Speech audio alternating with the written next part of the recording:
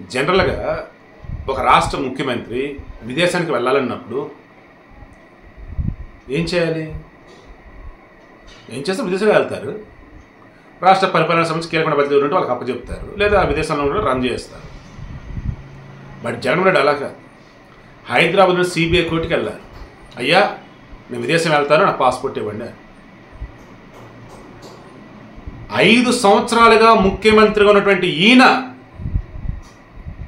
ఐదు సంవత్సరాల ప్రతిపక్ష నేతగా ఉన్నటువంటి ఈయన ఆయన మీద ఏవైతే కేసులు నమోదున్నాయో దాని తాలూకు పన్నెండు సంవత్సరాలుగా బెయిల్ మీద ఉన్న ఈయన ఇప్పటికీ తన మీద ఉన్నటువంటి కేసుల విషయంలో తాను ఏ తప్పు చేయలేదని నిరూపించుకోవాలి. ఆ కేసులు సంబంధించిన డిశ్చార్జ్ పిటిషన్లు వేస్తూ విచారణ సరిగా సాగనీయకుండా సంవత్సరాల తరబడి పేరబెట్టుకుంటా పోతూనే ఉన్నారు. ముఖ్యమంత్రి అయ్యాడు నీకు రావటం కుదరదు కోర్టుకు అని చెప్పేసి ఒక ఎగ్జామ్షన్ తీసేసుకొని అలా డిలే చేస్తా పోతా ఉన్నారు. ఏంది డిలే అని చెప్పి సుప్రీంకోర్టు అంటే సిబిఐ కూడా అదే చెప్తా ఉన్నారు. ఏం చేద్దామండి ఆయన ముఖ్యమంత్రి? ఆ తర్వాత ఆ డిశ్చార్జ్ పెట్టి ఈ డిశ్చార్జ్ పెట్టి కొన్ని వందలు ఎత్తా ఉన్నారు. వాళ్ళు ఏందో ఎన్నాలే ముందు త్వరగా చేయండి అని వాళ్ళు. వీడియోకి ఇంట్రెస్ట్ అంటే తెలుసా? జగన్మోహన్ రెడ్డి రెండు వేల పంతొమ్మిదికి ముందు నేను ఏ తప్పు చేయలేదు కేసులు ఇరికించారని చెప్పి ఒక ఛాన్స్ ఇవ్వండి. వైఎస్ రాజశేఖర్ నుంచినటువంటి పరిపాలన అందిస్తానని చెప్పి అధికారంలోకి వచ్చి రాజధాని ఇక్కడే ఉండిద్ది దీన్ని వాషింగ్టన్ డీసీ చేస్తానని చెప్పి అదే అమరావతిని దారుణ దారుణంగా గొంతు పిసుకు పక్కన పెట్టి కొనగోపతి కొట్టుమిట్టాడుతూ ఉంది ఇప్పుడు. నెక్స్ట్ వేరే గవర్నమెంట్ వస్తే దాన్ని బతికించుకోవాలి. అమరావతి అంట పెట్టేసి ఆ తర్వాత ప్రజావేదికను కూల్చేసి ఇక అడుగడుగునా కూడా ఈయనకి ఏదనిపిస్తే చేసుకుంటూ పోయాడు. ఎక్కడ కూడా ఉద్యోగాలు కల్పించడానికి కానీ కంపెనీలు తీసుకురావటం కానీ మెగా డిఎస్ ఇవ్వడానికి కానీ ఉద్యోగులకు ఇండియంలో జీతాలు ఇవ్వటం కానీ మంచిగా రోడ్లు వేయటం కానీ ప్రాజెక్టులు కట్టడం కానీ ఎబ్బే! ఒక్క టెంట్ ఒక్కడ సవ్యంగా చేసింది లేదు. ఎందుకంటే ఈ don't know how to reeling ఈ don't know the meaning of administration రకం చెప్పాలంటే ఈ డజంట్ నో ఈవెన్ కాన్స్టిట్యూషన్ వంటి గొప్ప గొప్ప ఎన్ని కూడా తెలియదు. సో సింపుల్గా నేనేం చెప్తున్నాను?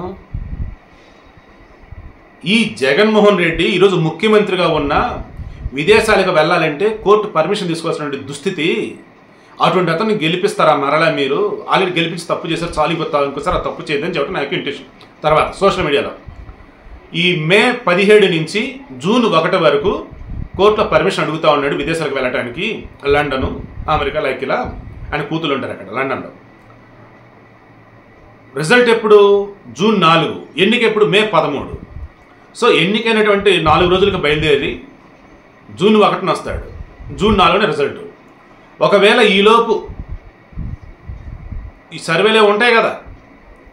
ఏమంటారు? ఎగ్జిట్ పోల్స్ రిమైనింగ్ అవన్నీ ఇవన్నీ అవి కానీ లేదా ఆల్రెడీ క్లియర్ క్లారిటీ ఉంటే కానీ ఓడిపోతే ఇక జైలుకి వెళ్ళక తప్పదా బాబు అనుకుంటే విజయమాలి లాగా ఒక నీరవ్ మోడీ లాగా అక్కడే విదేశాల్లో ఉంటాడని చెప్పేసి పోస్టులు పెడతా ఉన్నారు. But I'm sure. ఖచ్చితంగా జగన్మోహన్ రెడ్డి బ్యాక్ వస్తాడు. నో డౌట్ అందులో. అయితే వీడియోకి ఇంట్రెస్ట్ మీకు అర్థమైంది కదా? ఇప్పటికీ బయటికి వెళ్ళాలంటే కోర్టు పర్మిషన్ తీసుకుంటుంది ఈ వ్యక్తిని మీరు ఎలా గెలిపిస్తే నాకు అర్థం కావట్లా.